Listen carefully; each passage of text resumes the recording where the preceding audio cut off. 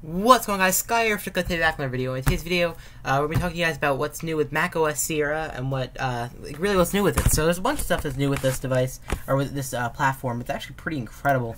Uh, so I'm going to get right into it. It's not going to be too long of a video because I don't want to make it very long. I'm just going to talk about what's brand new with it.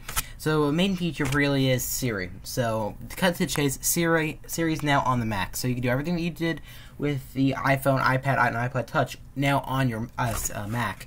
So you can just hold a button or whatever it is, and there's also an icon. Then click, and then it'll bring you right up to Siri. You can do any command you want. It comes up on the side. It's pretty cool, like this, as you guys can see here. You got Siri for reservations, anything like that, anything you want. You can find a table, anything. So it's pretty cool. to Uh, locate your files. That's, it really is an awesome thing. Uh, you can keep results, and it was pretty cool. So you uh, Siri results. Um, if you want some type of Siri result, obviously, you can just send it over to your notification section, um, and it'll automatically load up or a notification center.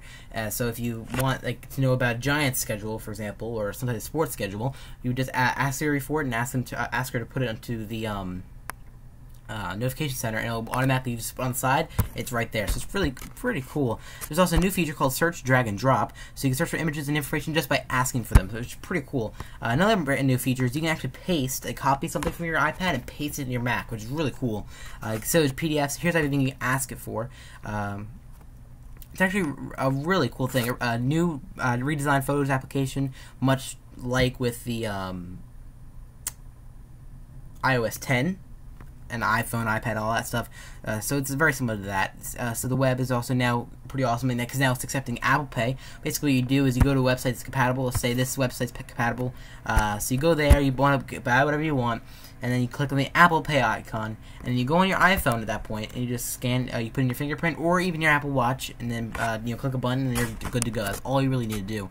And speaking of Apple Watch, there's a new feature on here where you can actually, uh, if you have an Apple Watch nearby, or even I think it was an iPhone as well, you just can have your Apple Watch, and then uh, if you're near your Mac, it'll automatically just uh, turn on the Mac when you open it up, rather than having to type in a passcode, which is really a, a great feature.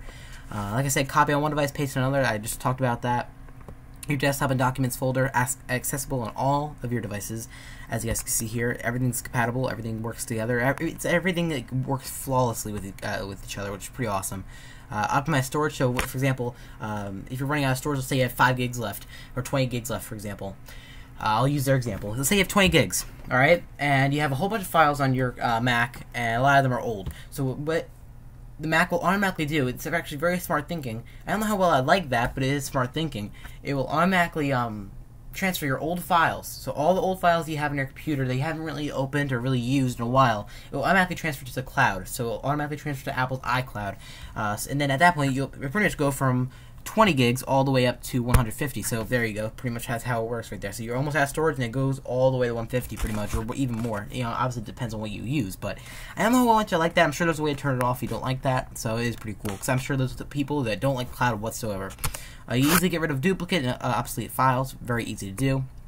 Uh, so it's actually a really cool uh, thing. I like it a lot. You can. Um, I apologize about that. I don't know what happened there you can live up to the conversation, which is really cool. Uh, so it's actually a really nice thing.